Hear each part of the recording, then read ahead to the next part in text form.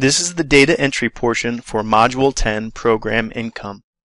In this video, we will walk through the process of creating a program income receipt and reporting the expenditure of program income by creating a drawdown. If you have a revolving loan, the process in IDIS will be the same as program income. The best way to learn IDIS is to get hands-on practice.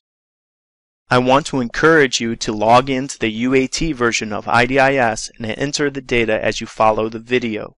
You can pause the video at any time by clicking the pause button in the lower left hand corner. You can switch back and forth between this video and IDIS by holding down the Alt key on your keyboard and then pressing the Tab key. If you are not already logged into UAT, pause the video and do so now. Make sure that UAT appears at the top of the screen. If you do not know how to access the UAT, there are directions at the bottom of the IDIS login webpage and also in Module 1 of this course. If you want to follow along in your manual, we will start in Chapter 6. We'll start at the home page of IDIS. To create a receipt, we will click on Funding Drawdown in the navigation menu. The system, by default, shows the first page for activity funding. To get to the receipt screens, look to the left. Under Receipt, you should see Add, Search, and Search Accounts. If you do not see one of these links, it means that your user profile does not have the privileges for that function. If you need to change your system privileges, you need to work with your local IDIS administrator. For the first portion of this exercise, we will create a program income receipt. Let's click on the Add link. Before we start entering data, Let's first discuss the timing of entering program income receipts. The regulations state that any income on hand should be used before additional funds are drawn from the Treasury account. In terms of IDIS, this means you should make the receipting process the first step of your drawdown process. Some HUD representatives have stated that they would like to see program income receipted at least on a monthly basis. That may seem like a lot of work, especially if you have a large portfolio of loans that make monthly payments. However, HUD has stated that you can batch multiple receipts into one IDIS receipt. We will fill out the left side of the screen first and then fill in the right. You can see the fields on the left are grouped into two sections, one labeled This Fund and the other Fund from Subgrant. In general, CDBG does not utilize subgrants. This exercise will not cover creating receipts for subgrants. For additional assistance on subgrants, please refer to Appendix I and J. We will fill out fields in the section labeled This Fund and skip the section labeled Fund from Subgrant. The first field is used to indicate the program that generated the income. For this exercise, we will choose CDBG. The program year is the year in which the income was receipted, not the year of the activity that generated the income. Take note that the CDBG Financial Summary Report PR26 does not use this field to determine which year to credit the program income. Instead, it uses the date in which the receipt was entered into IDIS. This is important because the amount of program income receipted for a specific year will affect the public service cap and the planning and administration cap. Given this, make sure to create a receipt on the last day of your program year in order to receive any unreported income on hand. This will ensure that the income is reported in the correct year. The next field is source type. CDBG states will use DC, cities will use MC, and urban counties will use UC.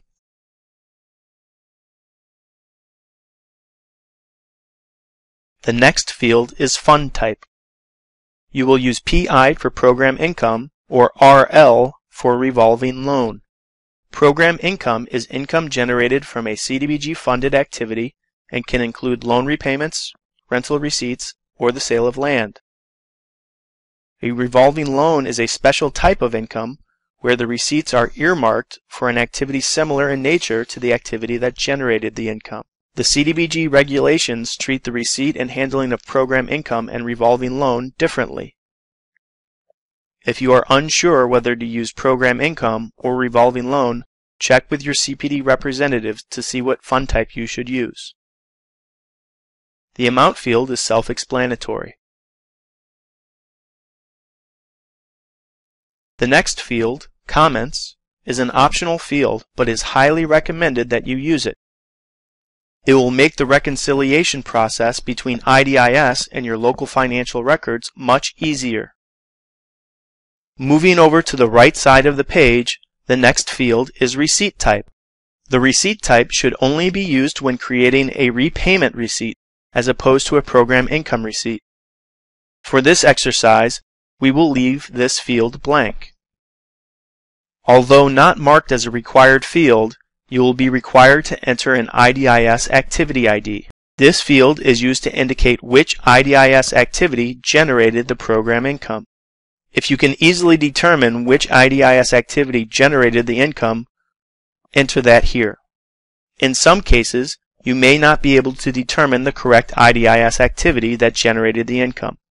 For example, the repayment may be coming from a loan that predates IDIS and therefore is not in the system. HUD has stated that it is permissible to use any CDBG funded activity when creating a CDBG receipt. For any CDBG-R program income, make sure that you indicate a CDBG-R funded activity. The next field is matrix code. The matrix code is only required for revolving loan receipts. This makes sense if you remember that revolving loan receipts are earmarked for activities similar in nature to the activity that generated the income. The next field is estimated amount. This field is only required the first time you create a receipt for a fund type each program year. It is asking you to estimate the amount of income that will be receipted in the selected program year for the selected fund type. You should be able to find this estimate in your annual action plan. The final field is Grantee Receipt Number. This field is optional and gives you a chance to put in a number or code to tie this IDIS record back to a record in your local financials. Now that we're finished, click the Save button. If all goes well, the system will refresh the page and give you a receipt number. It is a good practice to print this screen and keep it with a copy of the check receipts or other relevant documentation. Now that you know how to report to HUD that you have received program income, let's walk through the process of reporting the expenditure of program income. To report the expenditure of income in IDIS, you will create a drawdown voucher using the PI fund type. In the previous version of IDIS, any income receipted into the system would automatically show up during the drawdown process. In the current version of IDIS, you first have to fund an activity with program income before you can create the drawdown. Given this, let's go to the activity funding screen. For the purpose of this exercise, we can use any open CDBG activity. In the real world, you should only fund an activity with program income in preparation for creating a program income drawdown. This means the next activity that will draw funds is the activity that should receive the program income funding. There are some exceptions to this, such as when a subrecipient is allowed to retain program income. But in general, don't fund an activity with program income unless you know that the activity will be the next activity to request a drawdown. Some grantees want to commit the program income to the activity that received a budget increase due to the receipt of income. This is incorrect. If you commit the program income dollars to one activity, and in the meantime draw entitlement dollars against others, you would be in violation of the cash management rules, which specify use program income first. In the funding sources table, the amount available in the program income fund type will include the amount you just receipted. I will assume I need to draw down $500 for this activity. Since I need to use the program income before using entitlement funds, I will have to fund this activity from program income. Notice that once I increase the funding for program income, the total funded amount is increased as well. The purpose of adjusting this activity's budget was not to increase the total budget. It was to ensure that I can draw program income when I do the drawdown. In order to correct this, I now need to decrease the entitlement funding by an equal amount. When I adjust the amount of entitlement funding, you can now see that I have additional funds in the Amount Available column. This newly available entitlement fund can be used for the activity that receives the budget increase due to the receipt of program income. Now that you have made all of the necessary funding adjustments, you can create the drawdown voucher to reflect the expenditure of program income. We will go to Create Drawdown and select the same activity that we just adjusted the funding for. On the next page, you should see two funding amounts, Entitlement and Program Income. You'll want to use all program income before using any entitlement dollars. The system will not force you to do this. The rest of the process is similar to the regular drawdown process. That's all there is to program income. To report to HUD the receipt of new income, you will create a program income or revolving loan receipt. To report the expenditure of program income for an eligible activity, you will first adjust the activity's funding and then create a drawdown from the PI fund type. Remember that the timing of the receipts and drawdowns is important. The rule to remember with program income is to use it first before drawing additional entitlement funds from your line of credit.